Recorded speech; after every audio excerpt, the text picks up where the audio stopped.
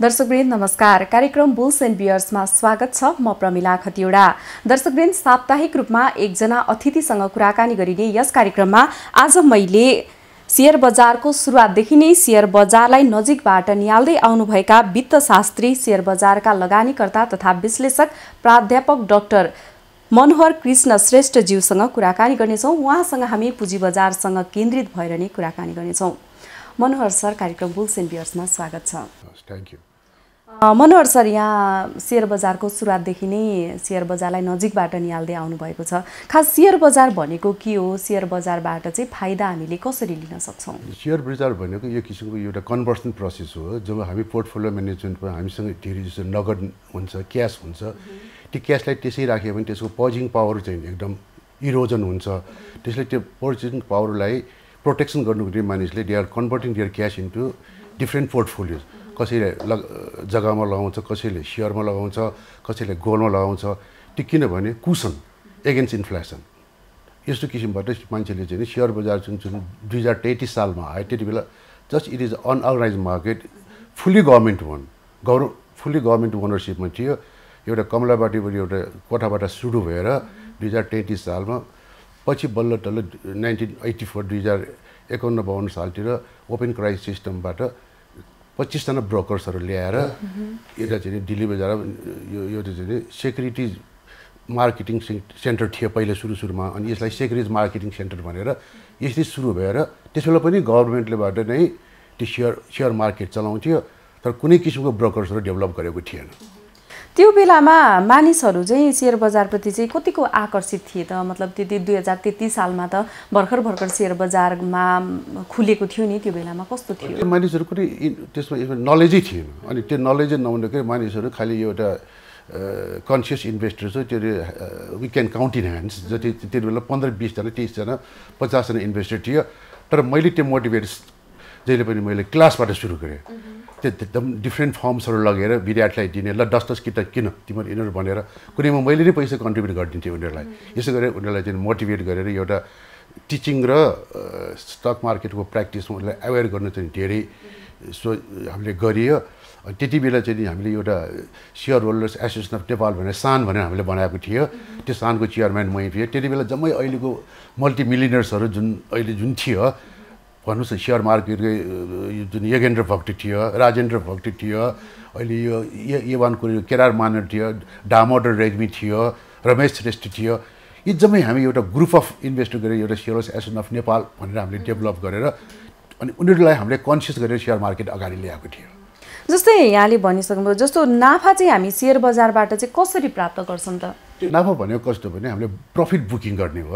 अहिले मैले सेयरमा लगानी गरेँ भने त्यसको कन्सेप्टै मानिसले चाहिँ एउटा नोमेन कलेजरमा नयाँ stock exchange frequent transfer of shares from one hand to other hand होइन त्यस गरेर चाहिँ सेयरमा चाहिँ नि हाई प्राइस भयो भने बेच्ने लो प्राइस भयो भने किन्ने। त्यो चाहिँ ब्यालेन्स ल भन्छ। Always you sell the share at the high price buy at the low price यो बाइङ सेलिङ फङ्सनको बिचमा बुल्स अनि बियर्सको जुन किसिमको बुल्स भनेको कस्तो भने तिनीहरू जहिले पनि they are always confidence that share share price is rise भनेर उसले जहिले पनि प्रफिट बुकिङ गरेर उसको जहिले पनि अप्टिमिस्टिक बिहेभियर हुन्छ उनीहरूको ऊ जहिले पनि प्राइस राइज भनेर स्पेकुलेट गर्छ उसले। Speculator is not bad speculation with intelligence is investment speculation without analysis is gambling हो। यतातिर अर्को बियर्स भनेर पैसा खस्ला भनेर डराउने। यो बुल्स र बियर्सको बिचमा एकजनाले प्राइस खसाउने अर्कोले प्राइस बढाउने। अनि यस यिनीहरूको बिचमा कम्पिटिसन भएर मार्केटलाई इक्वलिब्रियम गर्छ। यस्तो किसिमबाट bulls and bears are the necessary players in the market in to stabilise the market भनेर बुल्स एन्ड बियर आउँछ। जस्तो यहाँले भनिसक्नुभयो कि कहिलेकाहीँ प्राइस माथि पनि जान्छ कहिलेकाहीँ लो तल पनि जान्छ भनेर भनिसक्नुभयो। जस्तो यस्तोमा अलिकति आफूले लगानी गरेको पैसा चाहिँ लसमा जान्छ भन्ने अलिकति रिक्स भन्ने चिज हुन्छ कि हुँदैन त्यसमा रिक्स भनेको कस्तो भने रिक्स इज नोन रिक्स इज म्यानेजेबल। होइन रिक्स भनेको अनसर्टेन होइन। रिक्स चाहिँ जहिले पनि मान्छेले क्यालकुलेसन गरेर जम्मै किसिमको अलिकति एट्रिब्युट्सहरू लाइक हामी यसलाई आजकल हाम्रो technical टर्ममा we call it fundamental analysis कुनै पनि कम्पनीको सेयर लगानी गर्दा उसको बेसिक इन्फर्मेसन पास्ट इन्फर्मेसन त्यो पास्ट इन्फर्मेसनलाई हेरेर what company is doing in terms of EPS dividend per share अर्डिङ per share dividend इल भनेको मैले मार्केट प्राइसमा इन्भेस्ट गरेर डिभिडेन्ड कति पाउँछ र त्यो डिभिडेन्ड इल हेरेर जुन किसिमको चाहिँ सेयर मार्केटमा चाहिँ नि प्राइस अर्निङ रेसियो हेर्ने होइन? त्यस्तो किसिमको हेरेर चाहिँ जब यो फन्डामेन्टल इन्डिकेटर्स हेरेर अनि त्यहाँ कम्पनीको म्यानेजमेन्टको ब्याकग्राउन्ड हेरेर त्यो एट्रिब्युट्सहरू अलिकति लिएर well inform investors have a less failure than uninform investors जो जो टिप्स एन्ड रिमोरमा जान्छ अर्को रिमोरमा जान्छ त्यसले चाहिँ नि गर्छ। अनि स्टक मार्केटमा चाहिँ एउटा स्ट्राटेजी त्यो स्टक मार्केट भनेर पिक एन्ड बटम हुन्छ। त्यो पिक र बटमको बिचमा स्ट्राटेजी फर्मुलेट गर्नुपर्छ। त्यो स्ट्राटेजी फर्मुलेट गर्दा how much to book the profit depends upon your attitudes investor needs and preference त्यो प्रिफरेन्स गरेर जुन इन्भेस्टरले फ्रिक्वेन्ट हामीले के भन्छ आर्बिट्रेज प्रोसेस भन्छौँ सिमुल्टेनियस बाइङ एन्ड सेलिङ गर्छ त्यो त्यो कहिले पनि हराउँछ। जस्तै तपाईँलाई हेर्नुहोस् न बोनस सेयर राइट्सहरू खान्छ। बोनस सेयर राइट्सहरू खाएपछि अटोमेटिक सप्लाई अफ सेयर्स बढ्यो। सप्लाई बढेपछि त एउटा डिमान्ड एन्ड सप्लाईको फिचरले प्राइस भ्यालु तल आउँछ। त्यो तल आएको होइन त्यो एडजस्टेड भ्यालु भएको हो। त्यो प्राइस प्राइस एडजस्ट भएर स्टक स्प्लिट इफेक्ट भन्छौँ हाम्रो टेक्निकल टर्ममा त्यसरी जसले आफ्नो प्रफिट बुकिङ गरेर जो जान्छ त्यो जहिले पनि हार्ड जस्तै मै एउटा इन्भेस्टमेन्ट त्यत्रो वर्ष लाग्यो। मैले जहिले पनि आफ्नो प्रफिट बुकिङ गर्थेँ। मैले जहिले पनि थर्टी पर्सेन्ट प्रफिट राख्छु। त्यो थर्टी पर्सेन्ट प्रफिट आयो कि मेरो फेरि कस्तो कन्सेप्ट भने बोनस सेयर राइट सेयर म तुरन्त बेच्छु। बुकलोजको मा बुकलोजको भोलिपल्टै। त्यति बेला मैले त्यो क्यासमा कन्भर्ट गर्यो प्रेजेन्ट भ्यालु क्यास त्यो कन्भर्ट गरिहाल्यो आफूसँग भएको। फ्युचर भ्यालु त्यो आउँछ. Future value share is equal to realistic value of the investment भनेर यसरी मैले एप्रोच गर्छु. तर इन्भेस्टर्सहरूलाई ग्रिड चाहिन्छ. तर greed is necessary but too much greed is a curse भनेपछि चाहिँ यो आफ्नो पैसा इन्भेस्टमेन्ट गर्दाखेरि चाहिँ अलिकति विश्लेषण पनि अलिकति गर्नु पर्यो एनालिसिस गर्नुपर्छ। एनालिसिस गरेर आफ्नो पैसा चाहिँ इन्भेस्ट गर्नु पर्यो त्यो एनालिसिस गरेर तिनवटा इन्फर्मेसन हुन्छ?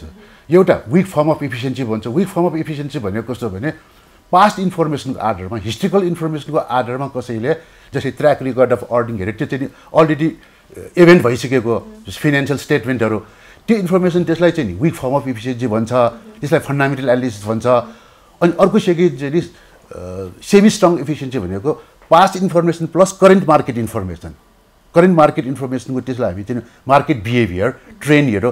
त्यसमा चाहिँ हामी सेन्टिमेन्ट हेर्छौँ। इन्भेस्टर साइकोलोजी त्यो इन्भेस्टर्सको एटिट्युड सेन्टिमेन्ट हेरेर मार्केट इन्फर्मेसन्स र पास्ट इन्फर्मेसनलाई दुवैलाई एनालाइसिस गरी गऱ्यो भने त्यसलाई सेमी स्ट्रङ अफ इफिसियन्सी भन्छौँ। अब आयो स्ट्रङ इफिसियन्सी भनेको जस्तो भने past information current market plus inside information inside information भनेको चिज त्यो मार्केटमा आउनुभन्दा अगाडि नै कसैले त्यसमा ट्रेडिङ गर्छ भने त्यसलाई इनसाइड इन्फर्मेसन भन्छ। अब यो इनसाइड इन्फर्मेसनलाई हरेक कन्ट्रीमा कन्ट्रोल गर्नुपर्छ भन्छ तर it is unavoidable it can be minimize but it can not be eliminated अहिले पनि इनसाइड इन्फर्मेसन भनेको कस्तो भने कम्पनीमा एउटा न्यू इन्फर्मेसन आयो। यो इनसाइड इन्फर्मेसन प्लेयर प्लेयरहरू को भने त्यहाँ कम्पनीको इन्टरनल म्यानेजमेन्टका स्टेक होल्डर्सहरू हुन्छ। Like auditor like employees like staffs होइन? अब त्यो इनसाइड इन्फर्मेसन कम्पनी सेक्रेटरी त्यो कम्पनी सेक्रेटरीहरूसँग अनि हामीले त्यहाँ चाहिँ बराबर कम्पनीसँग गयो भने त्यो इन्फर्मेसन त्यस त्यसबाट लिआयो भने हुन त अब इनसाइड इन्फर्मेसन कन्ट्रोललाई आजकल नेप्सेको वेबसाइटमा बोर्ड अफ डाइरेक्टर्सले डिसिसन लिन साथै आज डिसिसन लियो भने उसको डिसिसन लिएको एक घन्टामा वेबसाइटमा पठाउनु पर्छ भन्छ उनीहरूले। किन? अरूले त्यो प्ले गर्न नपाओस्। इप्सेन मार्केटमा हाइली डेभलप क्यापिटल मार्केटमा त्यो अलरेडी मार्केट प्राइसमा रिफ्लेक्ट गरेको हुन्छ। तर हामी कहाँ रिफ्लेक्ट किन हुँदैन भने हामी चाहिँ नि फन्डामेन्टली पनि विक छ। किन? सबै टाइमली एजिएम पनि हुँदैन। त्यसकैले फन्डामेन्टल इन्फर्मेसन पनि ब्यालेन्स सिट टाइमली आउँदैन। अर्को मार्केट इफिसियन्सी पनि हामीले चाहिँ टिप्स एन्ड रिमोट धेरै हल्ला गराउँछ त्यहाँ। धेरै मान्छेहरू त्यहाँ भेस्टेड इन्ट्रेस्ट ग्रुपले त्यहाँ हल्ला मचाउँछ टिप्स एन्ड रिमर अनि इन्भेस्टर्सहरूले कुनैले बेच्नु छ भने उसले त्यहाँ artificial demand artificial supply create गरेर त्यो मार्केटमा कि त खेल्छ। अब त्यो खेलेपछि त त्यो खेलेको थाहा पाएपछि त्यसमा पो हामीले पौडी खेल्ने हो। अब उनीहरूलाई कम्प्लेन गर्छ त्यो त मार्केटमा खेल्छ मान्छेले। People are people have a people चे दे आर जेन्युन इन्भेस्टर तर उसँग स्पेकुलेटिभ टेन्डेन्सी हुन्छ कि? केही पैसा कमाउँ भने उसको हुन्छ। I say that I have a genuine investor in theory but in practice I have a speculative tendency speculation भनेको चिज हटाउ हटाउन सक्दैन। जस्तो यहाँको भनाइअनुसार चाहिँ सेयर बजारमा रिक्स पनि छ समस्या पनि छ। यहाँको यति लामो अनुभव अनुसार चाहिँ जस्तो अब पनि कोही इन्भेस्टरहरूले मनी इन्भेस्ट गर्न चाहन्छ कतै आइपिओ एफिओ किन्न चाहन्छ भने होइन जस्तो सेयर बजारमा लगानी गरेको राम्रो कि ब्याङ्कमा डिपोजिट गरेको राम्रो? निस एन्ड प्रिफरेन्समा डेभलप हुन्छ। इन्भेस्टर्सको निस एन्ड प्रिफरेन्समा अब भर्खर भर्खर इन्भेस्टरमा चाहिँ कहिले पनि लेट हुँदैन। There is nothing like anybody you can enter अब तपाईँको त्यो इन्भेस्टर्सको एजमा डिपेन्ड हुन्छ। जति जति हामी यङ छ उसको रिस्क टेकिङ एबिलिटी हुन्छ। त्यो रिस्क लिन सक्छ उसले। किनभने उसले रिस्क लिने भनेकै उसँग चाहिँ त्यति बेला भर्खर भर्खर ग्रोथ भएको हुना। उसको एउटा एटिट्युड टुवार्ड्स रिक्स इज भेरी पोजिटिभ हुन्छ। रिक्सै लिएन भने त कसरी उसले कमाउने? अ, त्यसैले इन लिँदैन। तर त्यसलाई सुरु सुरु गर्दा उसले ब्लु चिप्सहरू मात्रै जानुपर्छ। किन भर्खर उसले लगानी गरेको पैसा भर्खर कमाएको हुनाले ब्लु चिप्समा मात्रै जानुपर्छ। तर यहाँ इन्भेस्टर के छ भने एकैचोटि धनी हुनु खोज्छ के? Quick money pick money kick money त्यस्तो गऱ्यो भने त्यस्तो इन्भेस्टर के मालामालै हुन्छ कि कालै आउँछ? त्यो म इन्भेस्टर के भन्छ भने त्यो स्मल साइज अफ सेयर दस सेयर भनेर हेप्नुहुन्न। सेयरको चिज मल्टिप्लाई इफेक्ट छ। क्यान इमेजिन हामीसँग पच्चिस सेयर थियो स्ट्यान्डर्ड चार्टरको अहिले मसँग तिन हजार किता छ त्यो। सिर्फ I have got twenty five shares in two thousand forty two त्यसै गरेको नोबेल ब्याङ्कको एकतिस किता थियो। त्यसको चाहिँ चार हजार सेयर छ अहिले मसँग होइन? भनेपछि penny penny is equal to mini के? That is the accumulation effects of investment is very high त्यसै इन्भेस्टमेन्ट धैर्य हुनुपर्छ कि where I stand where I want to go what you want to achieve देखि त्यो आफ्नो एउटा प्रे प्लान गरेर बिस्तारै ग्रोथ गयो भने त्यो जहिले पनि प्रोटेक्ट हुन्छ। तर उसले क्विक पनि पिक पनि किक पनि गयो भने त्यसले कि एकैचोटि वाटै गर्छ। अनि त्यो गर्नुको निम्ति के गर्नुपर्छ? इन्भेस्टरले एउटैमा कन्सन्ट्रेसन गर्नु हुँदैन। डाइभर्सिफिकेसन अफ पोर्टफोलियो गर्छ। अप्टिमल पोर्टफोलियो भनेको कमसेकम पन्ध्र बिसवटा अथवा सुरु सुरुमा पाँच दसवटा गऱ्यो भने त्यो रिस्क त स्प्रेड हुन्छ। एउटा एउटामा लस भने अर्कोमा गेन भएपछि अटोमेटिकली उसको रिस्क त के हुन्छ? उसले मिनिमाइज गर्न सक्यो गर्न सक्छ होइन? ब्यालेन्सिङ हुन्छ त्यसमा इक्विलिब्रियम भनेको त्यही हो। तर जब यो इन्भेस्टले एउटैमा राख्छ कन्सेन्ट कसैले बिओकेमा राख्छ कसैले झन्टा ब्याङ्कमा राख्छ त्यसो गऱ्यो भने त्यो इन्भेस्टर के मालामालै हुन्छ कि कालै आउँछ? भनेपछि अलिकति इन्भेस्टरले चाहिँ लङ टर्म इन्भेस्ट पनि गर्ने अब इन्भेस्टमेन्टको टाइम इन्भेस्टमेन्ट टाइमिङ हाम्रो डाइमेन्सन्समा तिनवटा डाइमेन्सन छ। एउटा सर्ट टर्म डाइमेन्सन त्यो चाहिँ नि प्रोकरी सर्ट पोजिसन लिने अनि केही केही केही हप्ता राख्ने त्यो हप्ता राखे त्यसको मार्जिनमा खेल्ने। होइन जस्तै हामीले त्यसको मार्जिनमा खेल्नेमा त्यसको वर्स्ट कम्पनी इज बेस्ट के? त्यसमा जस्तै अहिले नेसनल हाइड्रो अस्सी रुपियाँ आयो त्यो अस्सी रुपियाँ आएको सेयरलाई भोलि एक सय बिस आयो भने चालिस रुपियाँ तिस रुपियाँ आयो भने अनि त्यो तुरुन्तै बेच्ने जस्तै I did in Janata bank I'm I'm also speculator होइन? तर के विथ क्यालकुलेटिभ क्यालकुलेटिभ स्ट्राटेजी जस्तै झन्टा ब्याङ्क मैले एक सय पचासमा किनेँ अस्ति होइन? कतिवटा किनेँ? धेरै किनेँ मैले। अरूले जस्तो दस हजार मैले एक हजार मात्रै किनेँ। अनि एक हजारमा तिन तिन चार दिनपछि पाँच दिनपछि एक हप्तामा के भयो त्यो? एक सय सन्तानब्बे पुग्यो। अब एक हजारमा सन्तानब्बे पुगेपछि त मलाई त प्रफिट भइसक्यो होइन? अनि मैले तुरन्त फालेँ।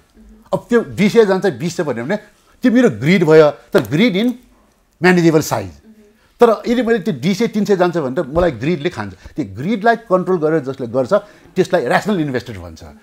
त्यसै गरिकन मैले अ, प्रभु ब्याङ्कको एक सय पचासीमा किनेँ। अनि दुई सय चालिसतिर दुई सय तिसतिर मैले फालिहालेँ। त्यसरी पनि त्यो क्विक मनी पिक मनी गर्ने त्यो सर्ट पोजिसन भयो। त्यसको सर्ट पोजिसन भनेको त्यसको objective to dispose after some time अर्को मिडियम पोजिसन भनेको त्यो इन्भेस्टमेन्ट छ महिना राख्ने। कमसेकम एउटा ब्यालेन्स सिटलाई कुरिने त्यसको इन्फर्मेसन आएपछि त्यो इन्फर्मेसन आएपछि त त्यसको इन नयाँ इन्फर्मेसन आयो मार्केट त्यो इन्फर्मेसनले चाहिँ इन्भेस्टको साइकोलोजी उसले बोनस सेयर दियो राइट सेयर दियो जस्तै अहिले सोच्नुहोस् निर्धन उठान ब्याङ्क होइन? अहिले माइक्रो फाइनेन्स अरू ब्याङ्कहरूको पनि डिक्लेयर गर्न साथै त्यो इन्भेस्टको साइकोलोजीले बढ्नुपर्ने थ्योरीले त्यो बढ्नुपर्ने तर अहिले इन्भेस्टको साइकोलोजी के भयो? तिनीहरूले बोनस दिन्छ सबै दिन्छ मार्केट घटिरहेको छ। म चाहिँ नि किन्छु अब होइन? किन it is the time to blue chip किन अराउन्ड लाइक निर्धन उठान छिमेक विकास ब्याङ्क होइन यिनीहरूमा चाहिँ नि राम्रो दियो मैले नौ सय पचासमा पनि उठाएँ यिनीहरू होइन? किनभने त्यसमा त अलरेडी मलाई चालिस पर्सेन्ट डिभिडेन्ड दिइरहेको छ। मैले चाहिँ उठाएँ। अरूले चाहिँ नि त्यो घट्ने बेलामा उसले के बिचारे अझ घट्छ भनेर बस्छ तर मेरो स्ट्राटेजी के भने जहिले भने पिक र बटममा जहिले पनि म के गर्छु भने पिकबाट तलै बेच्छु कि। एक दुई रुपियाँ खस्यो भने खसायो भने मेरो तुरन्त मैले के गर्न सक्यो सेयर बेच्न सक्यो अरू त्यो बटम पिकबाट माथि नाग्यो भने त्यो ग्रिडिङ पल्स भयो। म पिकभन्दा तलै बेच्छु कि? मलाई मार्जिन धेरै प्रफिट भइसक्यो। टेक्निक पनि चाहिने रहेछ यसको मतलब फाइदा। बटम पुग्ने म अलिकति एक दुई रुपियाँ उठाएर किन्छु कि? अनि जहिले पनि किन्न सक्यो जहिले पनि बेच्न सक्यो but this is not with म्याजिट of investor त्यो इन्भेस्टरले दिन खालि एक रुपियाँको दुई रुपियाँको कचकच गरेर त्यो पनि धेरै सेयर किने पाँच सय रुपियाँ एक दुई रुपियाँमा कचकच गरेर के गर्छ उनीहरूले? Share किन्दैन। Only looking no booking the profit के? त चाहिँ म के गर्छु? जहिले पनि मेरो स्ट्राटेजी पिक पुग्यो भने तल तल लेभलमा दुई रुपियाँ घटाएर म बेचिहाल्छु। अनि बटम पुगेपछि एक दुई रुपियाँ बनाएर म किनिहाल्छु। जहिले पनि किन्न सकेँ जहिले पनि बेच्न सकेँ। भनेपछि यहाँको दुई हजार तेत्तिस सालको यात्रा सेयर बजारको प्रवेशदेखि अहिलेसम्म आइपुग्दा यहाँले चाहिँ सेयर बजारबाट चाहिँ नाफा नै कमाइरहनु भएको छ। मेरो एकोमोडेसन मल्टिप्लिकेसन क्यालकुलेसन धेरै भइसक्यो यो सिचुएसनमा नि जस्तो हामीले कति मानिसहरूलाई बजारमा भेटिरहेका हुन्छौँ यो बेलामा चाहिँ सेयर बजार लगानी डुब्यो है भन्ने किसिमको चिन्ता पनि हुन्छ। उहाँहरूले चाहिँ अलिकति टेक्निक नबुझेर पनि हो जस्तो। उनीहरूको ग्रिड इम्पल्स भएको तिनीहरूले त्यो प्राइस बढेको बेला बेच्दैन कि? त्यो प्राइस बढ्नेमा माटिन्छ अझ बढ्छ भने उनको ओभर कन्फिडेन्स डेभलप हुन्छ। प्राइस बढ्ने बेला माटिन्छ प्राइस खस्ने बेलामा आटिन्छ अनि धेरै उनीहरू जिन्दगी काटिन्छ कि? यसरी। Garden give my fine price बढ्यो भने अझ बढ्छ भनेर के गर्छ उसले? रोकेर अझ बढ्छ भने बेच्छ। अनि प्राइस खस्यो भने डराएर फेरि बेच्न जान्छ। पनि बुल्सको पनि उसँग क्यारेक्टर भएन बियरको पनि क्यारेक्टर भएन। भनेपछि उसको चाहिँ नि जुन किसिमको एउटा ऱ्यासनल बिहेभियर उसँग भएन। उसले आफ्नो प्रफिट त्यसरी स्ट्राटेजी चाहियो। Strategy is to be formulated by once one decision अरूसँग सोझेर आफूले स्ट्राटेजी बनाउनु पर्छ। तर यहाँ धेरै इन्भेस्टरले डिपेन्डेन्सी एटिट्युड्स के धेरै अरूसँग सोच्ने सोचेर आफ्नै डिसिसन उनीहरूले लिँदैन कि? Because high level greed impulse low level greed impulse त्यो इम्पल्सले गर्दा उनीहरू जहिले पनि मार्केटमा चुकिन्छ कि? They slip in the market जस्तो बजार अठार सय एकासी अङ्क पुगिसकेको बजार होइन? अब अहिले लगभग बाह्र सय अङ्कको हाराहारीमा छ। यो बाह्र सय अङ्कभन्दा माथि जान नसक्नुको कारण चाहिँ यहाँको अनुभवको आधारमा चाहिँ हामीले यस्तो चाहिँ म चाहिँ अनसिस्टमेटिक रिक्स भन्छौँ कि? सिस्टमेटिक रिक्स भनेको चाहिँ मार्केट रिक्स जुन एभाइडै गर्नु हामीले चाहिँ इलिमिनेटै गर्न सक्छ त्यसलाई चाहिँ नि सिस्टमेटिक रिक्स भन्छौँ हाम्रो टेक्निकल टर्ममा अनि अनसिस्टमेटिक रिक्स भनेको चिज के भने अलिकति त्यसमा केही पनि इम्प्रुभमेन्टमा आयो पोलिसी लेभलमा म्यानेजमेन्ट लेभलमा होइन प्रोफेसनल लेभलमा इम्प्रुभ आयो भने त्यो तुरन्तै हुन्छ। अब अहिले हामीमा ठुलो कन्सटेन्ट भइरहेको पोलिसी लेभल त्यो अनसिस्टमेटिक रिस्क क्रिएटेड फ्रम र गभर्मेन्ट गभर्मेन्ट कन्सट्रेन्ट होइन? गभर्मेन्टले कस्तो कन्सट्रेन्ट क्रिएटेड जस्तै एउटा क्यापिटल गेन ट्याक्स गई अहिलेसम्म गभर्मेन्टले सेटल गरेको छैन। होइन? अब एउटा इन्भेस्टमेन्टको फन्डामेन्टल प्रिन्सिपल्सलाई नै उनीहरूले चाहिँ नि ओभरल्याप गर्नु खोज्छ जस्तै कि मान्छेले चाहिँ नि अहिले अहिले अहिले चाहिँ मैले फेस भ्यालुमा इन्भेस्ट गरेँ। मेरो इनिसियल इन्भेस्टमेन्ट त फेस भ्यालुमा हुन्छ। होइन? अब त्यो इन्भेस्टमेन्ट गरेर जुन मैले मार्केट भ्यालुमा अहिले इन्भेस्ट गरेर के गर्छु त्यसबाट? मैले क्यापिटल गेन खान्छु भनेर। त्यो सेयरमा राख्ने हो। त्यो क्यापिटल गेन पनि हामीले हामीलाई फाइभ पर्सेन्टबाट सेभेन्टी फाइभ पर्सेन्ट बढाइसक्यो। स्मल इन्भेस्टरले झन् कटाउनु पर्ने। एउटा गभर्मेन्टको ड्युटी त स्मल इन्भेस्टर प्रोटेक्सन हो नि। रेगुलेटर चाहेको। यो त सेभेन्टी फाइभ पर्सेन्ट बढायो फाइभ पर्सेन्टबाट। अर्को प्रमोटरलाई कन्सट्यान्ट राख्यो। दिन सक्नेलाई कन्सट्यान्ट राख्यो। स्मल इन्भेस्टरलाई झन् सेभेन्टी फाइभ पर्सेन्ट राखेर यो गभर्मेन्टको चाहिँ नि इम्ब्याच्योर डिस्टेन्स हो। झन् त स्मल इन्भेस्टरलाई गभर्मेन्ट भनेको त उनले बदमासी गरेर झन् प्रोटेक्ट गर्नुपर्ने। अर्को क्यापिटल गेन ट्याक्समा पनि फेरि के गर्यो? अङ्कित मूल्यमा ल्याइदिन्छु भनेर भनिदियो। भनेको सय रुपियाँमा लिने। फेरि लस गरे पनि ट्याक्स लिने भनेर जुन किसिमको इन्टरनल रेभिन्यू डिपार्टमेन्टले जुन किसिमको स्टक मार्केटमा एक्सेसिभ इन्टरफेरेन्स गर्यो त्यो एक्सेसिभ इन्टरफेरेन्स भनेको नचाहिँदो इन्टरफेरेन्स त्यो इन्फ्लुएन्सलाई हामी अनसिस्टमेटिक रिक्स त्यो अनसिस्टमेटिक रिक्सले यदि त्यहाँ उसले चाहिँ तुरन्त एनाउन्समेन्ट गरेर कमिटी फर्म भइसक्यो नगरेकोले स्टक मार्केट गर्यो होइन? किन मान मान्छेले के त? What uh government is going to do भनेर गरेर अरू से सेकेन्ड रेट चाहिँ इन्ट्रेस्ट रेट इन्ट्रेस्ट रेटको जुन डिफ्रेन्स हो डिपोजिटमा लिने इन्ट्रेस्ट र लोनमा लिनुको इन्ट्रेस्टको डिफ्रेन्सियल राष्ट्र ब्याङ्कले त्यत्रो उसलाई चाहिँ गरे भने ब्याङ्कले इन्ट्रेस्ट घटाउनु खोजिरहेको छैन कि?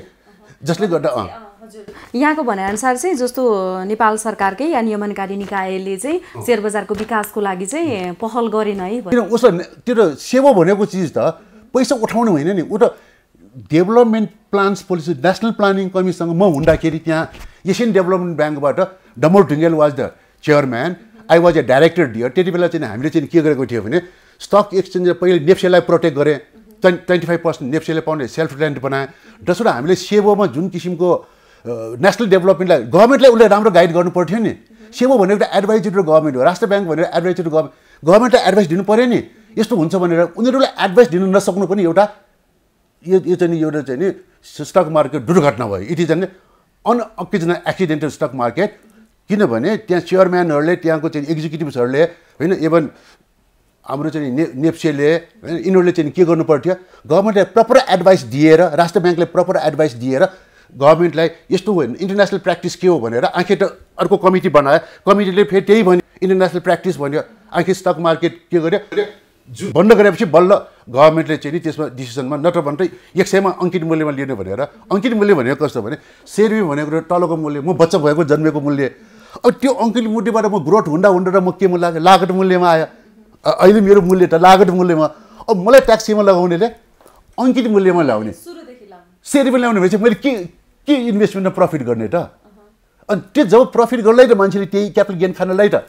Share purchase and share fundamental principles of buying and selling of security transaction is being violated by the immature decisions of the internal revenue department यसमा डाक्टर खनिवटाले पनि होइन हाम्रो प्रा फिनान्स मिनिस्टरले पनि यो- त मैले त्यो इमेज च्यानलमा दिँदाखेरि हिज हिज न त्यो फिनान्स रङली एउटा अर्थमन्त्री भनेको इकोनोमिक मिनिस्टर हो। भ्यालु म्याक्सिमाइजेसन प्रिन्सिपल बुझेन के? भ्यालु म्याक्सिमाइजेसन प्रिन्सिपल बुझेको भए यस्तो किसिमको हुँदैन थियो के? जस्तो यहाँ एकजना नेपालको नम्बर वान वित्त शास्त्रीमा पनि हुनुहुन्छ जस्तो अर्थमन्त्रीले मतलब नेपाल सरकारले नै पुँजीगत लाभकर अ, को विषयमा जुन ट्याक्स लगाएर सेयर बजारका लगानीकर्ताहरूलाई मनोबल गिराउने काम गर्यो यसलाई माथि उकास्नको लागि चाहिँ के गर्न आवश्यक छ यो तुरन्त डिस्टेन्स लिएर यसमा चाहिँ नि इन्टरनेसनल टेस्ट प्र्याक्टिसमा एडजस्टेड भ्यालुमा भनेर गर्नु पर्नुपर्छ। त्यहीबाटै विकल्प हो यसको। किनभने इन्टरनेसनल प्र्याक्टिस त्यो हो। एडजस्टेड भ्यालु भनेको मतलब मैले बोनस सेयर आइसकेपछि त्यो बोनस सेयर खानुभन्दा अगाडि त्यसको प्राइस कति थियो त्यो खाइसकेपछि त्यो एडजस्टेड भ्यालु कति आयो? त्यो त्यो राखेर त्यही अनुसार चाहिँ नि क्यापिटल गेन ट्याक्स लगाएको भए त्यो चाहिँ इन्टरनेसनल ट्रेड प्र्याक्टिस तर अङ्कित मूल्य भनेर गर्नु हुँदैन एडजस्टेड भ्यालुमा अर्को गभर्मेन्टले national development plans policy and program national planning कमिसनसँग integrate गर्नुपर्ने।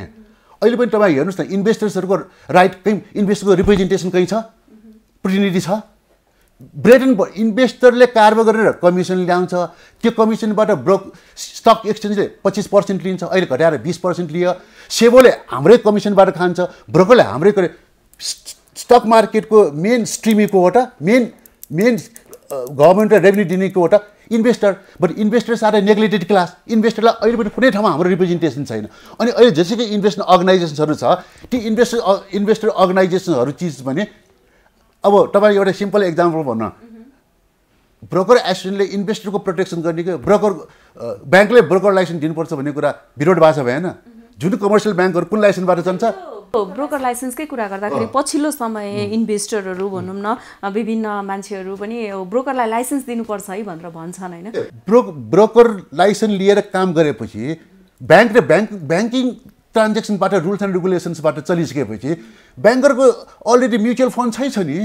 उसको सब्सिडी कम्पनी छ नि। त्यो सब्सिडी कम्पनीबाट गर्न मिलिहाल्छ नि। तर ब्रोकरको रोटी छिन्न त हुँदैन नि। जब जुन ब्रोकरले म कमिसन लाइसेन्स ब्रोकर लाइसेन्सले म कमिसनबाट काम गर्छु भने यो त यो त लबिङ ग्रुप हो। यो एउटा भेस्टेड इन्ट्रेस्ट ग्रुपहरूको यहाँ ग्रुप अफ इन्डस्ट्रिजहरू छ। तिनीहरू ग्रुप अफ इन्डस्ट्रीले स्पेकुलेसन गरेर त्यो लाइसेन्स लिएर ब्रोकरको रोटी छिन्नु त मिलेन नि। भनेपछि यसको ब्रो ब्याङ्कलाई ब्रोकर लाइसेन्स दिनुको सट्टा चाहिँ ब्याङ्क यो ब्रोकर शाखा विस्तार गर्नु चाहिँ उपयुक्त हुन्छ। साथै उनीहरूको म्युचुअल फन्डबाट एसेस नभएको ठाउँमा गर्न सक्छ तर ब्रोकरलाई लाइसेन्स दिएपछि त कि ल चेन्ज गर्नु पऱ्यो ब्रोकरले पनि त फेरि डिपोजिट उठाउनु पाउनु पऱ्यो नि त नत्र। नि- कुनै पनि एउटै फिनेन्सियल ल राख्ने सबै जस जसले फिनेन्सियल एक्टिभिटी एउटै एक्टबाट कि चलाउनु पऱ्यो जब ब्याङ्करहरू ब्याङ्कर्सको होइन कमर्सियल ब्याङ्किङ एक्टबाट ट्रान्जेक्सन एक्ट भनेर commercial bank financial institutions banking and financial institution एक्टबाट जब अहिले अम्ब्रेलमा ल्याएँ नि सबैलाई एउटैमा गर्ने भनेर आइसकेपछि अब ब्रोकर लाइसेन्स ब्रोकरलाई ब्याङ्कलाई दिने भए चाहिँ ब्याङ्क अब ब्याङ्क चाहिँ नि चाहिँ के अब सेयर बेचेर रिक्स लिएर काम गर्ने कि ब्याङ्कले आफ्नो आफ्नो इन्भेस्टरलाई लोन पोर्टफोलियोमा जाने? यो त विरोध भाषा भयो नि। कन्ट्राडिक्सन्स अफ ल भयो नि। एउटा एउटा तपाईँलाई यो अब दोस्रो आएर यिनीहरूले चाहिँ नयाँ नयाँ नेप्से खोल्दैछ भन्छ। नयाँ नेप्से नयाँ न्यू स्टक एक्सचेन्ज ल्याउँदा कमसेकम दिनको एक अरब ट्रान्जेक्सन हुनुपर्छ। अब अस्ति नै तपाईँको तिन चार दिन जब मार्केट तल आएपछि ब्रोकर त हाम्बे हाम्बे भइसकेको थियो। के गरौँ? झिङ्गा ढपाउनु लागेको थियो। त्यो त्यो त्यो सेबोले हेर्नु पर्दैन। आफ्नै छोराछोरी जन्माएर। अब उसले चाहिँ उसले के भन्छ?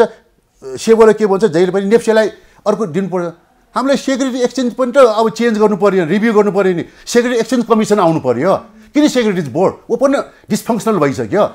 त्यो उसले छोरा चेन्ज गरे बाउले पनि चेन्ज गर्नु पऱ्यो नि। होइन? ऊ चाहिँ जहिले पनि के उसले लबिङ गरेर हो के? नयाँ स्टक एक्सचेन्ज दिनुपर्छ ब्रोकर ए ब्रोकरको खाने लाइसेन्सलाई अरूलाई खोसेर दिनुहुन्छ? किनभने त्यो त अनइथिकल बिहेभियर भयो मेरो विचारमा है अर्कोतिर आएर यिनीहरू जुन किसिमको भनिरहेको छ। भने मर्चेन्ट अब अस्ति मर्चेन्ट ब्याङ्कर्सहरू नै यो तपाईँलाई सिम्पल एक्जाम्पल भन्नु न कस्तो कस्तो किसिमको म्यानिपुलेट पहिलेको प्र्याक्टिस तपाईँलाई भन्छु। हामीले पहिले राइट सेयर हुँदाखेरि राइट सेयर भन्ने कसको राइट हो भन्नुहोस् त? एक्जिस्टिङ सेयरर्सको राइट हो कि त्यो बाहिरको राइट हो? राइट सेयर भनेको। त्यो त्यो राइट कसलाई दिनुपर्ने?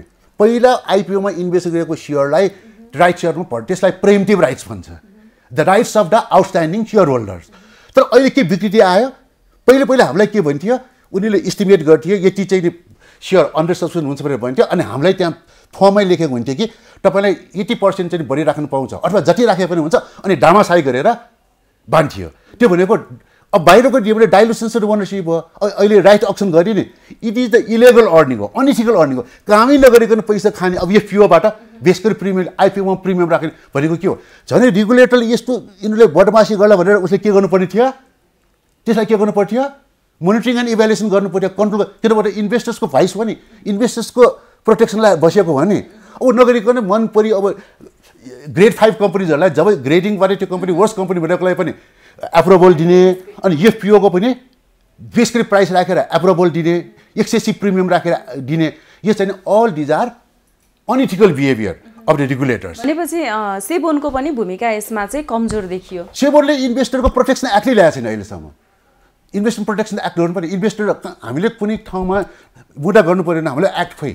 इन्भेस्टमेन्ट प्रोटेक्सन एक्ट छैन अरू कन्ट्रीमा जहाँ इन्टरनेसनली टेस्टेड प्र्याक्टिस भन्छु उहाँहरू तर उतातिर इन्भेस्टमेन्ट प्रोटेक्सन एक्ट भन्ने छ। होइन in investors are the kings of the market they are bread and butter of the market but they are neglecting the investors right के उसले नेप्रेसको सुप्रेस गरिरहेको छ के? हाम्रो रिप्रेजेन्टेसन कहीँ पनि छैन।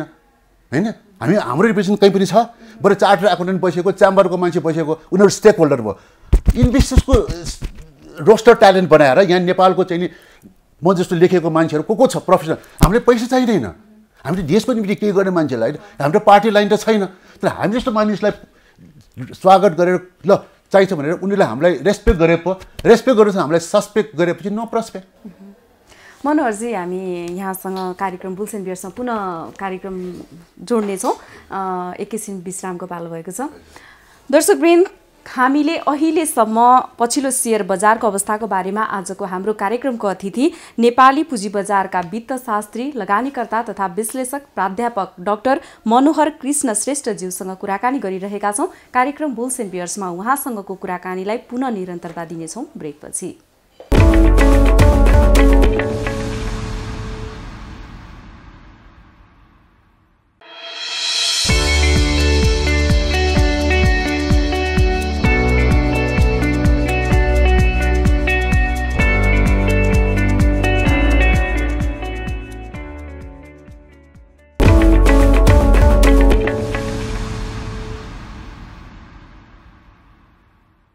पुनः स्वागत छ दर्शकवृन्द। कार्यक्रम बुल्स एन्ड बियर्समा दर्शकवृन्द अब पुनः आजको हाम्रो कार्यक्रमको अतिथिसँगको कुराकानीलाई निरन्तरता दिनेछौँ। पुनः स्वागत छ मनोहर सर कार्यक्रम bulls and bears. Manohar sir यहाँले भनिराख्नु भएको थियो अघि हामी ब्रेकभन्दा अगाडि कुरा गर्दाखेरि पनि यहाँले जस्तो नियमनकारी निकायको सेबोनको अर्थ मन्त्रालयको सरकारकै पनि पुँजी प्रचारप्रति चाहिँ सकारात्मक धारणा भएन है। सिस्टमेटिक रिक्स डेभलप भएन। जस्तो अब यसलाई होइन पुँजी बजारको विकासको लागि सेबोनको भूमिका के त?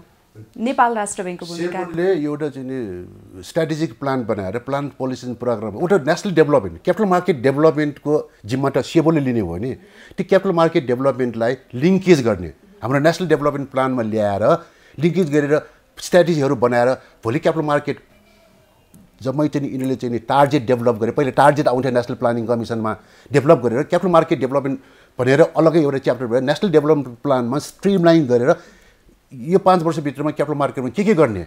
कति कति number of share shareholders increase गर्ने? कति मार्केट क्यापिटलाइजेसन इन्क्रिज गर्ने? कति चाहिँ ब्रोकर्सहरूको प्रोफेसनलाइज गर्ने? यी सबै चिज उहाँले डेभलप गर्ने ठाउँमा अहिले चाहिँ उनी हाम्रो सेवा के गरिरहेछ?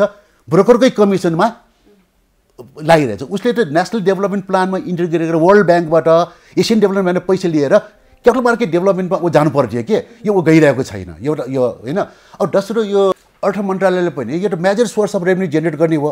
क्यापिटल मार्केटको निम्ति अर्थ मन्त्रालयले नै एउटा स्पेसियल टास्क फोर्स बनाएर स्पेसल टास्क फोर्स भनेर capital market development plan policy प्रोग्रामलाई एउटा कन्ट्री कन्ट्रीका चाहिँ वेल भर्स पिपलहरू होइन फिनेन्सियल इन्भेस्टमेन्ट एक्सपोर्टर लिएर क्यापिटल मार्केट डेभलपमेन्ट के गर्न सकिन्छ इम्प्रुभमेन्टको निम्ति के के कन्सटेन्टहरू छ के के किसिमको बोटल नेक्सहरू यी सबैलाई क्रास्टलाइज गरेर सबैलाई डायगोनाइज गरेर capital market development long term प्लानसम्म चाहिँ उसले लग्नुपर्ने देखिन्छ मेरो विचारमा।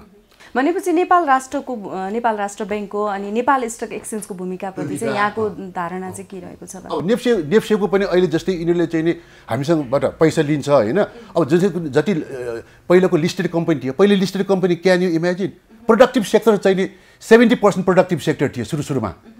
नाउँ तपाईँलाई नम्बर अफ नाउँ लिइदिन्छु। गोर्खाली डबर नेकोन यर होइन? त्यति बेला चाहिँ नि हरिसिडी हरिसिडी ब्रेक एन्ड टा- टाइल फ्याक्ट्री भुटोल ठागो त्यो सबै प्रोडक्टिभ सेक्टर थियो। तर त्यो प्रोडक्टिभ सेक्टरको रेगुलेटर भएन के? यो त सेबोले गर्नुपर्ने हाम्रो पैसा हाम्रो पैसा त लियो नि। अब हरिसिडीले नि त्यत्रो एनबी ग्रुपले लिएको छ।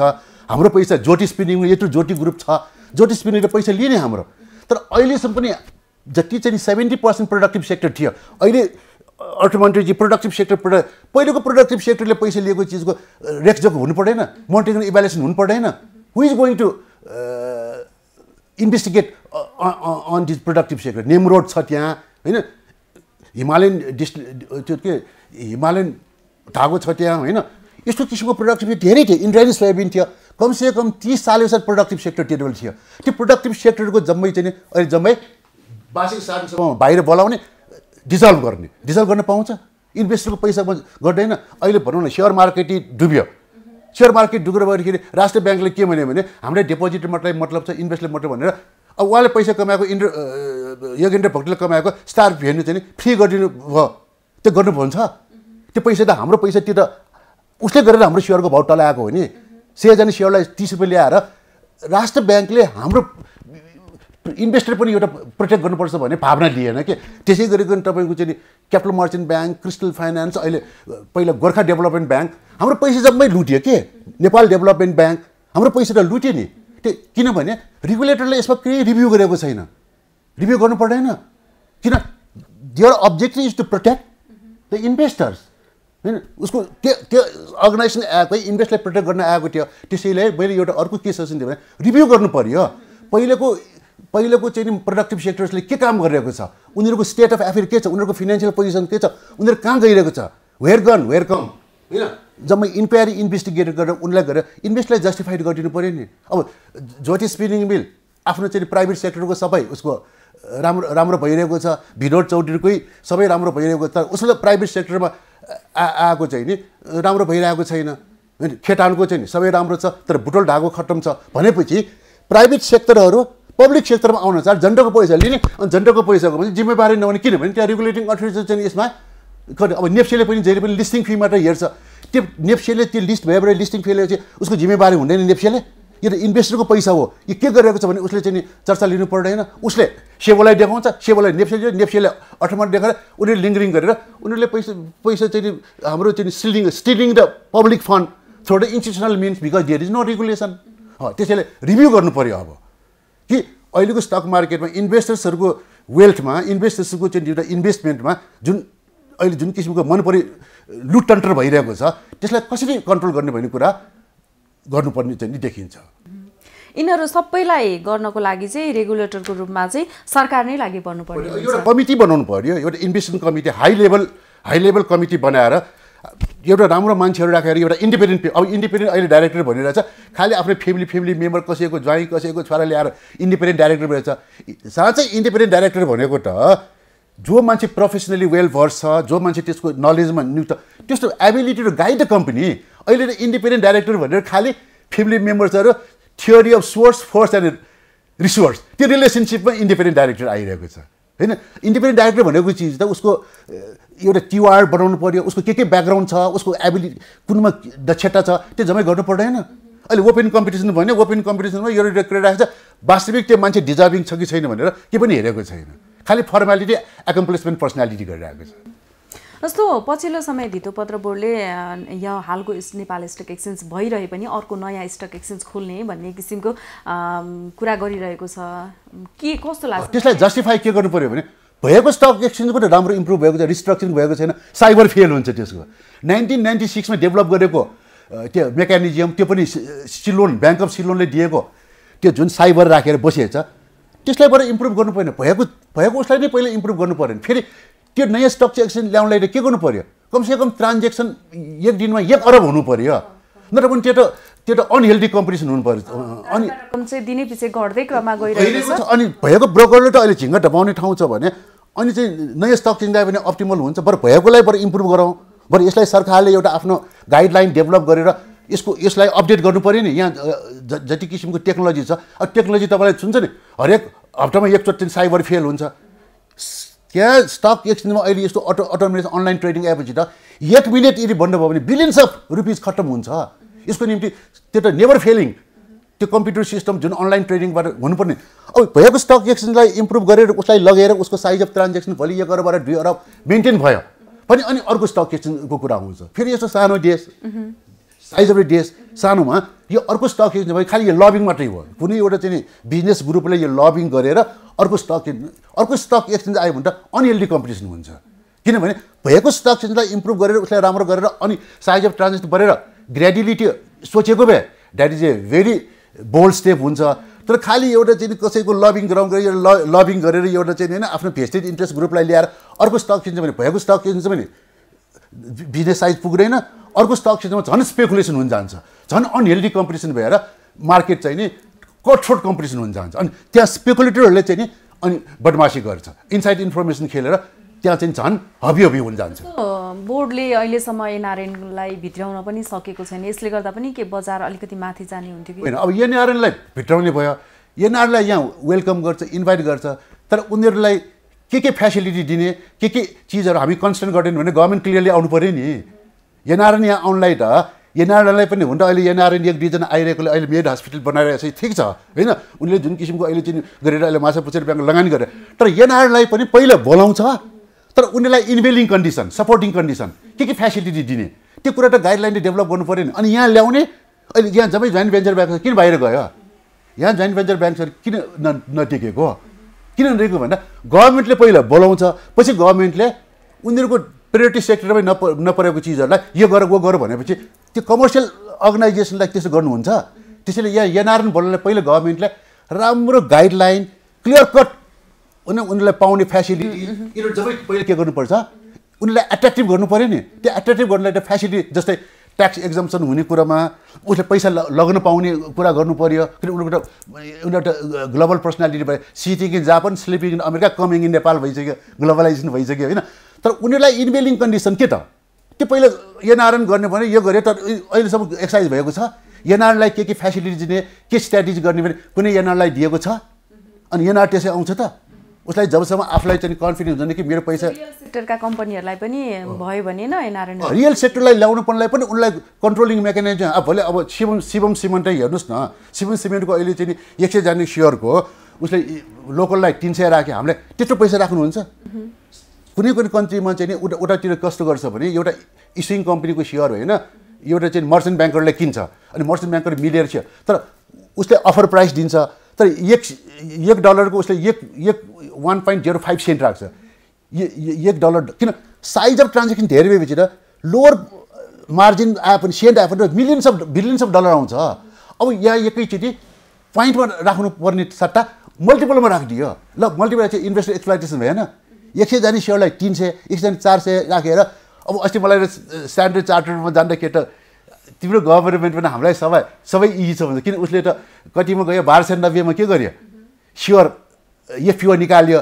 जबै पैसा चाहिँ हामीसँगै लियो एक हातबाट लियो अर्को दियो। त्यो केबाट क्यापिटलाइजेसन अफ अर्निङ भयो क्यापिटलाइजेसन अफ प्रिमियम भयो त्यो? कुन कुन क्यापिटलाइज भयो? प्रिमियम क्यापिटलाइज भयो कि अर्निङ क्यापिटलाइज भयो?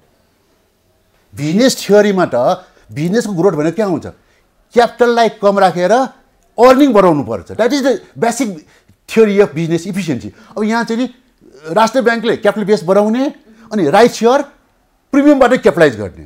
द्याट इज भेरी अनले त्यसले चाहिँ लङ रन अब हेर्नु भने simple example Unilever Unilever no capital चाहिँ तिन सय करोड रिजर्भ छ। अनि त्यसको सेयर छब्बिस हजार गएन same is with bottlers Terai. जम्मा उसको दस करोड क्यापिटल छ रिजर्भ चाहिँ नि दुई सय करोड छ। इज अहिले हिमालयन डिस्टिलरी त्यस्तै छ। अनि उनीहरूको भाउ हेर्नुहोस् त सात हजार पुगिरहेछ। त्यसै कम्पनीको डेभलपमेन्टको बिजनेस मोरल इफिसियन्सी बिजनेसको प्रिन्सिपल्स अफ कर्पोरेट इफिसियन्सी भनेको through closing back of profits return अर्निङबाट जाने।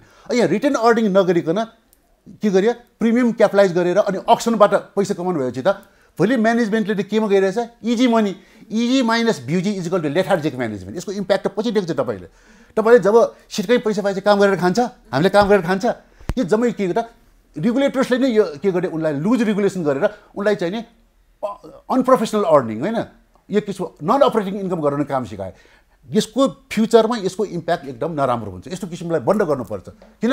यस्तो यदि कन्टिन्यू हो भने भोलि कम्पनीमा माल प्र्याक्टिस आएर इजी मनी गएर मान्छेले चाहिँ अब प्रोमोटरको सेयर कन्भर्ट गर्ने दिने। प्रोमोटरको सेयर कन्भर्ट गरेर पैसा निकालेपछि ऊ बस्छ जस्तै शेखरको कन्भर्ट गर्ने दियो नेपाल लाइफको कन्भर्ट गरिदियो। यो चाहिँ के हो भने विकृति हो। यो त झन् उनीहरूले गर्ला भनेर के गर्नुपर्ने? कन्ट्रोल गर्नुपर्ने। अब अस्ति एभरेस्ट इन्सुरेन्सको कम्पनी रेजिस्टरमा प्रोमोटर सेयर र पब्लिक सेयरै छुटेको छैन। कसरी डाटा भएको त्यो कम्पनी एभरेस्ट इन्सुरेन्सको पछि त्यहाँ जाँदाखेरि त? प्रोमोटर सेयरै छैन। अनि कम्पनी रेजिस्ट्रारले कसरी डाटा उसले डाटा गर्दाखेरि त? यदि प्रोमोटर यदि पब्लिक हुने छुट्नु पर्दैन? भनेको यहाँको रेगुलेट अब अस्ति बिमा समितिले त्यत्रो फेरि लाइसेन्स दिइदियो। होइन? किन? त्यो कमिसनको चक्रमा तर अहिले बिमा समितिमा अनकटफोट कम्पनी पहिलेको फटेबहादुर केसी चाहिँ नि मेरो स्टुडेन्ट थियो त्यो उसले चाहिँ नि मर्ज गर्नुपर्छ सुजे लाइफलाई मर्ज गर्नुपर्छ गुरास लाइफलाई मर्ज गर्दा उसले झन् अहिले के गरिदियो? नयाँ लाइसेन्स दियो। अब इन इन्सुरेन्समा कटफोट कम्पिटिसन आउनु लाग्यो सर चाहिँ त्यो बिमा समितिमा पनि मर्ज गरेर कम्पनीहरूलाई चाहिँ ग्रोथ गर्नुपर्नेमा उसले चाहिँ नयाँ लाइसेन्स प्रक्रियालाई धेरै दियो नन अप्टिमल कम्पिटिसन जुन किसिमको चाहिँ चाहिँ वेस्टफुल कम्पिटिसन भयो होइन? अप्टिमल साइजमा गरेर बरु उसको ब्रान्च स्प्रेड गरेर लग्नुपर्ने जस्तै इन्डिया जस्तो कन्ट्रीमा डिभाइड छैन एलआइसी एउटा छ अर्को छै छैन। त्यत्रो कन्ट्रीमा त छैन तर उसको ब्रान्च नेटवर्क बढाएर जानुपर्छ। जस्तै अहिले ब्याङ्कहरूले ब्रान्चहरू बढाइरहेको छ नि होइन? अब गभ पहिला गभर्मेन्टले आँखा चिम्लेर लाइसेन्स दिने अनि पछि मर्ज गर्ने भनेपछि अहिले जस्तै माइक्रो फाइनेन्स हुँदै छ मनपरी लाइसेन्स दियो अब आएर के भन्दैछ? पहिले बच्चा जन्माउने अनि पछि मर्ज गर भन्ने होइन? That is what is call यसको मतलब पोलिसी भिजन जसलाई हामी के भन्छौँ? पोलिसी ओभरसाइट ओभरसाइट जुन किसिमको पोलिसी लेभल बसेर उनीहरूले monitoring evaluation managerial insight corporate management efficiency र इन्स्टिट्युसनल फारसाइट यो तिनवटा मिलाएर जुन कर्पोरेट गभर्नेन्स मेन्टेन गरेर एउटा इन्स्टिट्युसनल स्टेबिलिटी ल्याउनु पर्ने त्यो नेपालमा दुर्भाग्यवश it is it is proving to be a failure Manohar sir हामी कार्यक्रमको अन्तिम अन्तिम समयमा आइसकेका छौँ। अघि हामीले नेपाल स्टक एक्सचेन्जको कुरा पनि गऱ्यौँ। जस्तो नेपाल स्टक एक्सचेन्जले पछिल्लो समय लगानीकर्ताहरूको हितकै लागि भनेर अनलाइन ट्रेडिङ सिस्टम ल्याउने कुरा गरिरहेछ। यसमा चाहिँ यहाँको विचार के रहेको छ? यो अनलाइन सिस्टमहरू त त्यो यो के भन्छ यो ग्रेजुअल डेभलपमेन्ट फेज हो। यो त नेचुरल प्रोसेस हो। पहिले चाहिँ नि ओपन फ्लोर आयो ओपन क्राइस सिस्टम आयो। ओपन क्राइस सिस्टमबाट अटोमेस अब अटोनोमेसनबाट अनलाइन ट्रेडिङ। अब अनलाइन ट्रेडिङ भनेको चिज पनि कस्तो भने अमेरिकामा पनि अनलाइन ट्रेडिङ छ नि होइन? तिनीहरू जम्मै अनलाइन ट्रेडिङ गर्छ। तर म्याजिटिभ इन्भेस्टर्सहरू स्मल इन्भेस्टर्स त अहिले पनि त्यो स्टक मार्केटमै जान्छ। किनभने यो त फुर्सद नभएकोहरूलाई जसले चाहिँ गर्नु पऱ्यो ब्लक गर्नलाई अनलाइन ट्रेडिङ हामीले पनि online trading very it is a welcome step. तर मेजोरिटी स्मल इन्भेस्टरलाई अनलाइन ट्रेडिङ गरेर उनीहरू घरमा जस्तै मलाई नि घरमा म बस्नुको सट्टा म बाहिर गएर बिजी हुन चाहन्छु नि। कयौँ हाउसवाइफहरू छ होइन? यो यो अनलाइन ट्रेडिङ राम्रो छ यिनीहरूले पनि गर्छ तर धेरै जस्तो स्मल इन्भेस्टरलाई यसको इम्प्याक्ट अहिले पनि उनीहरूले यसलाई ट्यान्जिबली लिने किन उनीहरू ब्रोकर अफिसमै गएर उनीहरूले काम गर्न खोज्छ सबै लगानीकर्ताहरूलाई चाहिँ यसले समेट्न सकेन। किन उनीहरूको चाहिँ नि उनीहरू त बाहिर गएर भ्युजी भएर गर्नुपर्ने अनलाइन आएको स्वागतीय छ यो होइन? अहिले मक ट्रेडिङ भनेर पनि उनीहरूले गयो। अब यो मक ट्रेडिङ गर्नलाई चाहिँ त्यही भनेको नि नेप्सेले पहिले चाहिँ के गर्नु पऱ्यो आफ्नो त्यो इम्प्रुभमेन्ट गर्नु पऱ्यो नि टेक्नोलोजी टेक्नोलोजी इम्प्रुभ नगरिकन त्यसलाई चाहिँ नि केही किसिमको त्यत्रो पैसा उसले ट्वेन्टी पर्सेन्ट हामी कमिसन दिएर टन्न रिजर्भ राखेको छ उसले। त्यो रिजर्भबाट इन्भेस्टमेन्ट चाहिँ मिसिनमा त्यो गभर्मेन्टको प्रोसिडरलाई उसलाई रोकिरहेको छ कि इन्भेस्टमेन्ट गर्न। किन? बोर्ड अफ डाइरेक्टर्समा प्रोफेसनल मान्छेहरू छैन। खालि भट्ट खाएर बेपट्ट खाने मान्छे छ। गभर्मेन्ट ब्युरोक्रेट्सहरू कोही अर्थ मन्त्रालय पनि कुन मन्त्रालय भन्छ? जुन मान्छेहरू चाहिँ नि के छैन? भिजनै नभएको मान्छेहरू खालि भट्ट खाने। Eating meeting equal to sitting equal to fitting. तर their contribution to the board policy board is nil त्यस्तो मान्छे बसेपछि कसरी प्रोफेसनलाइज हुन्छ? त्यसैले नेपालको रिस्ट्रक्सन गर्नुपर्छ मैले भनिरहेको कारण के भने त्यहाँ त well based people independent party उनीहरूको बायोडाटा लिएर टिआर लिएर उसको ज्ञान केमा छ के कन्ट्रिब्युट गर्न सक्छ? होइन? त्यस्तो मान्छे लिएर फिल्टर लिए पो यो त अहिले जुन मेजोरिटी गभर्मेन्टले त के सोच्नुपर्छ? देशको professional ट्यालेन्टलाई reservoir national roster talent develop गरेर हाम्रो पार्टी लाइन हुने we are we do not belong to party we are independent people हामी जस्तो पिपल्सहरूलाई होइन। पार्टीको लाइनमा हामी जाने होइन हामी त प्रोफेसनल लाइनमा जाने मान्छेहरूलाई उहाँले चाहिँ रिटेन्सन पोलिसी होइन ब्रेन ड्रेन नगर्ने पोलिसी त्यसो ल्याए पो कन्ट्री डेभलप हुन्छ। अहिले हामी त we are deserving but others are preserving किन हाम्रो पार्टी छैन? हामीले डिजर्भिङ पिपल हो नि। हामीले त पैसै चाहिँदैन हामी जान्छौँ त्यहाँ। किन? We play the role of a satisfier and maximizer हामीले सेटिस्फ्याक्सनको निम्ति गर्छ। But they do not give access to development किन यो मान्छे नेगेटिभ हामी नेगेटिभ त होइन नि हामीले त एउटा देशको निम्ति के गर्नु भने अब उहाँहरूको चाहिँ भेस्टेड इन्ट्रेस्ट ग्रुप भयो हामीले केही बोलेपछि उहाँहरूको निम्ति नेगेटिभ हो वास्तविक हामी नेगेटिभ त होइन होइन राम्रोसँग यदि लङ टर्म भिजनमा हेऱ्यो भने त हामीले कन्ट्रीको निम्ति केही गर्नु खोजेको हो आक्स not what country can give you आक्स what you can do for the country इन्स्टिट्युसनमा पनि यो जोन अफ क्यान्डिडेटले भनेको छ त्यसरी इन्स्टिट्युसनमा पनि त ठुलो टाटा बिर्ला यिनीहरूलाई के भन्छ अम्बानी यिनीहरूलाई के भन्छ आक्स not what institution can give आक्स what you can give to the institution किन आखिर उनीहरूको पैसा जम्मै होइन बेलग्रेड फाउन्डेसन सबैहरूको वारेन बफेटको सबै आखिर केमा छ त्यो पैसा? डोनेसनमा छ। भनेपछि उनीहरूको त फाइभ टेन पर्सेन्टले उनीहरू अरबौँ रुपियाँ आउँछ भन्दा आखिर त्यो पैसा के को निम्ति? रोल अफ ए साटिस्फाई डान म्याक्सिमाइजर मनोहर सर हाम्रो कार्यक्रम निर्धारित समय सकिएको छ। यहाँलाई धेरै धेरै धन्यवाद। अन्तिममा लगानीकर्ताहरूलाई इन्भेस्टरहरूलाई यहाँले कसरी लगानी गर्ने भनेर कसरी सुझाव लगानीकर्तालाई पहिले पनि उसले एउटा स्ट्राटेजी फर्मुलेट गर्नुपर्छ।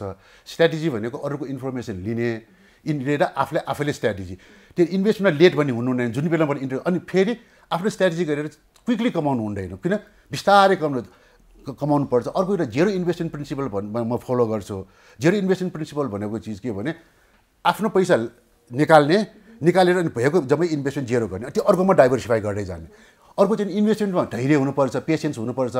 इन्भेस्टमेन्टमा पेसेन्ट भएन भनेर कुनै प्राइस एकै दिनमा पैसा घट्यो भने आँटिनु पनि हुँदैन प्राइस बढ्यो भने माथिनु पनि हुँदैन। उसले जहिले पनि के गर्नुपर्छ यो इन्भेस्टमेन्टको वेभ जस्तै हाम्रो समुद्रको छाल छ नि टाइटमा के भन्छ तपाईँको चाहिँ वेभमा माथि आउँछ तल आउँछ त्यसलाई भन्छ हामी डेली फ्लेक्चुएसन यो डेली फ्लेक्चुएसन्सहरू एकोमुलेट हुँदा हुँदा हुँदा चाहिँ यिनीहरू ट्रेन बन्छ।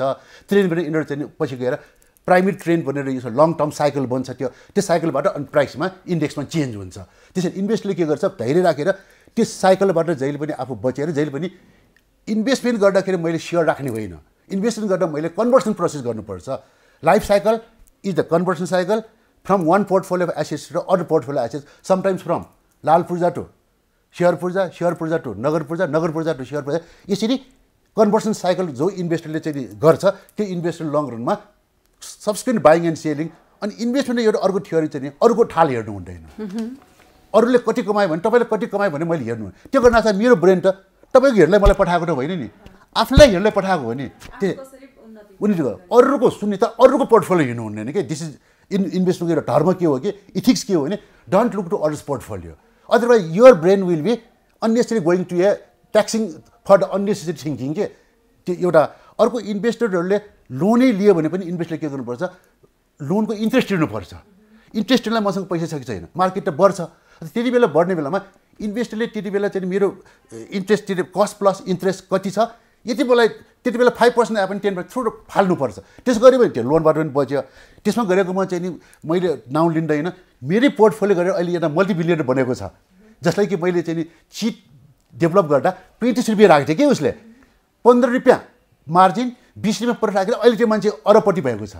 म नाउँ नलिउँ त्यसको अहिले ठुलो पोर्टफोलियोमा छ।